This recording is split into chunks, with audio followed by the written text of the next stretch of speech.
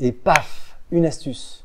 Et paf, une astuce est née d'une conversation que j'ai eue avec une amie qui m'a dit, avec tes initiales, tu pourrais créer des capsules où tu partagerais tips, trucs, astuces sur le sourcing. Et tu l'appellerais, bien évidemment, et paf, une astuce. Eh bien, c'est chose faite aujourd'hui. Je propose qu'on se retrouve toutes les semaines pour un partage d'un truc, d'une astuce, d'un tips sur le sourcing. Cette semaine, je vous propose Cette semaine, dans EPAF Une astuce, je vous propose de découvrir ou de redécouvrir deux petits outils que j'aime bien, qui font la même chose du reste. C'est Bulk Opener euh, ou Open URL Opener. Donc ils sont là, Bulk Opener en version 1.12.0 et puis on se moque un peu de la version et Multiple URL Opener. Alors pour aller chercher, c'est très simple. On va aller faire un petit tour dans le Chrome Web Store. Donc Web Store, en général ça suffit, Chrome Web Store. Voilà, euh, Bulk Opener. Clac. Il en propose plusieurs. Bon, vous prenez celui que vous voulez. Je vais vous expliquer pourquoi je me suis ici. Celui-ci parce qu'en fait, dans les préférences, je peux par défaut cadencer l'ouverture des onglets à un délai. Là, j'ai mis 2,5 secondes. Ça veut dire qu'il va m'ouvrir eh bien, toutes les 2,5 secondes, un nouvel onglet avec une nouvelle URL. Alors concrètement, ça sert à quoi et comment je m'en sers? Eh bien, je m'en sers de la manière suivante. Admettons par exemple que j'ai trouvé, euh, enfin je fasse un LinkedIn X-Ray. Euh, allez, allons, voilà, j'ai un site LinkedIn euh, Java Developer. Je vais pouvoir récupérer cela via la Pokéball. Donc je vais récupérer toutes les URL et toutes ces réponses via euh, qui va me permettre de récupérer, de moissonner euh, eh bien, toutes, mes, toutes URL. Si on regarde là bien, le, comment dire, ce que me propose de récupérer un standard scraper, eh bien, c'est un certain nombre de URL. Alors, je suis désolé, aujourd'hui, le but, c'est pas forcément de travailler sur un standard scraper, mais de voir qu'effectivement, avec Bulk Opener, qu'est-ce que je peux faire. Voilà, j'ai ouvert le document que vient de me créer euh, un standard scraper, c'est de l'Excel, pardon, il me le crée là.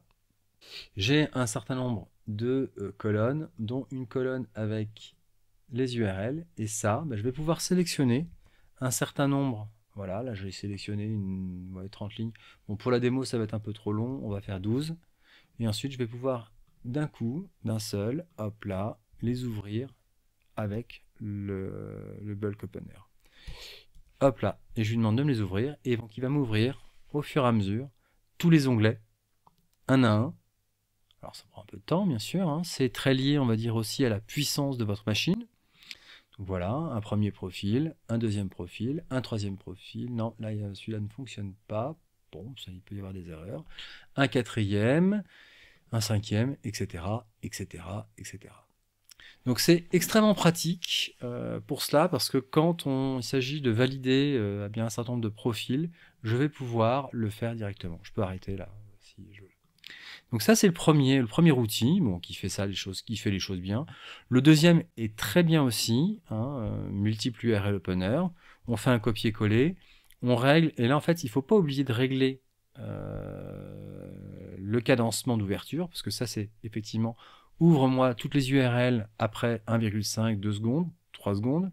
Parce que si je ne le fais pas, il me les ouvre. D'ailleurs, on peut le faire, on peut s'amuser. Euh, alors, on va le faire sur un peu moins d'URL. Si on ne fait pas, il va m'ouvrir tout d'un coup. Là, vous le voyez. Sauf que ça, LinkedIn déteste. Et donc ça, vous allez le faire un petit peu. Et puis à un moment, vous allez être bloqué par LinkedIn. Donc c'est pour ça que je lui préfère l'autre parce qu'une fois que c'est euh, déterminé euh, dans les préférences, on n'y revient plus. Alors celui-ci, il faut y penser à chaque fois. Mais sinon, il est extrêmement pratique, extrêmement léger et fonctionne très très bien. Donc voilà un petit peu euh, euh, ce que je voulais vous présenter aujourd'hui dans euh, EPAF une astuce.